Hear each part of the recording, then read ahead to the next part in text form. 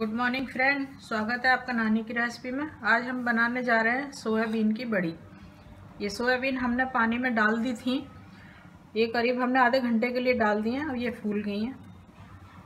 Friend हम soybean की जो सब्ज़ी बनाने जा रहे हैं, उसके लिए हम मसाले बता रहे हैं। हमने ये अदरक ली है। अदरक, हमने एक इंच का टुकड़ा लिया है। ये मैंने लहसुन की कुछ कलियाँ ली हैं। सात से आठ हैं। ये दो हरी मिर्च ली हैं, हमने दो प्याज लिए हैं, ये हम पीस लेंगे इन्हें। ये हमने चार टमाटर लिए हैं, सौ ग्राम मैंने सोयाबीन की बड़ी ली थी और ये चार टमाटर डाल रहे हैं हम उसमें। फ्रेंड, हमने इसमें सरसों का तेल डाला है, आप कोई सा भी तेल डाल सकते हैं इसमें, एक चमचा तेल डाल डाला है। हम इसमें ये जो हमने बड़ियाँ ली हैं, ये हम इसमें डाल रहे हैं। क्योंकि हमने ये थोड़ा सा इसको इस तरीके से इनकी स्मेल निकालेंगे ये हम स्लो उसका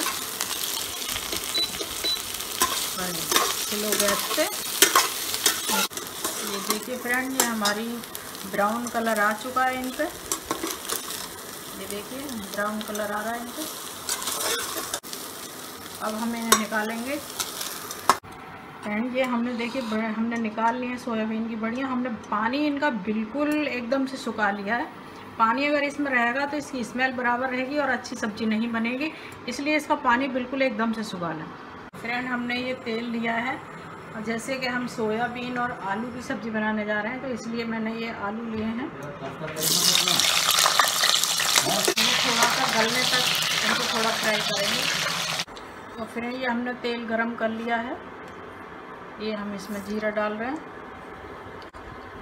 ये जो हमने मसाला पीसा था प्याज आ, प्याज अदरक लहसुन का ये हम इसमें भूनेंगे इसको। फ्रेंड ये देखिए, हमारी प्याज भुन गई है, क्योंकि ये थोड़ा सा टाइम लेती है, पिसी हुई प्याज। ये अब हमारी प्याज भुन गई है, अब हम इसमें ये हल्दी डाल रहे हैं।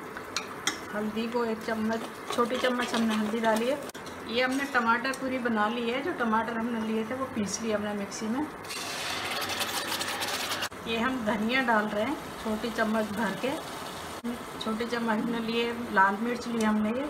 नमक डालें ये भी छोटी चम्मच है एक नमक स्वाद अनुसार डालें जैसे आप खाएँ उस हिसाब से। तो फ्रेंड दे देखिए ये तेल छोड़ दिया है हमारे मसाले ना मसाला हमारा तैयार हो गया। ये मैंने एक छोटी चम्मच हमने कसूरी मेथी ली है ये मैंने तवे पे थोड़ा भून लिया था ये हम डाल रहे हैं इसमें। ये हमने आ, आलू फ्राई कर लिए थे। ये हम डाल रहे हैं इसमें। ये हमने बड़ी भी तैयार कर ली थी पहले। इसमें भूनी थी आपको दिखाया था ब्राउन हो गई बिल्कुल अब हम इसमें थोड़ा सा पानी डालेंगे।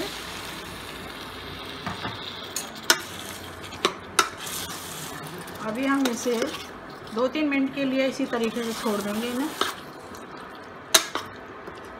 बिल्कुल स्लो पे, स्लो गैस रखें ये दो मिनट हो चुके हैं, अब हम इसमें पानी डाल रहे हैं।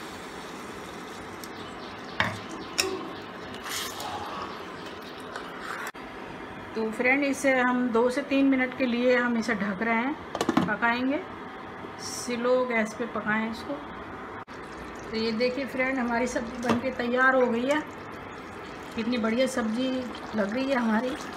आलू, सोयाबीन की सब्ज़ी। अब हम बंद कर रहे हैं।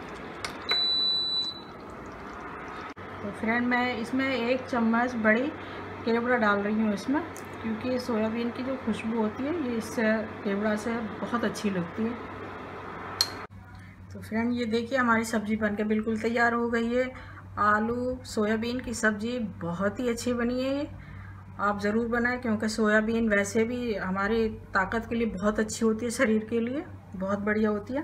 तो ये रेसिपी आपको पसंद आए तो हमारे चैनल पर सब्सक्राइब करें शेयर करें लाइक करें। Thank you